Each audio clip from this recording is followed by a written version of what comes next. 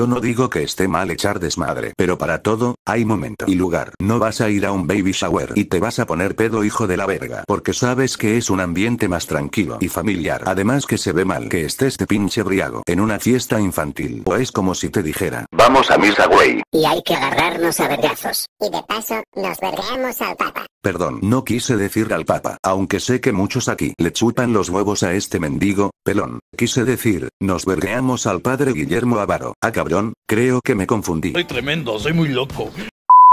Ah, ya recordé. Este güey es youtuber y se llama Hugo. Saludos al pinche Hugo. Vayan a visitar su canal, hace vídeos perros. Bueno, a lo que voy con este pinche video, es que no se me hace correcto que se haga una fiesta arriba de un avión, sobre todo cuando sabemos cómo sigue de culero lo de la pandemia. Aquí podemos ver a varios güeyes canadienses teniendo una fiesta arriba de un avión, hasta lo que sé Canadá les va a aplicar una pinche multa. ¿Ustedes, qué opinan? Muchas aerolíneas se negaron a regresarlos a su país por esta mamada que hicieron de no respetar las medidas contra el COVID.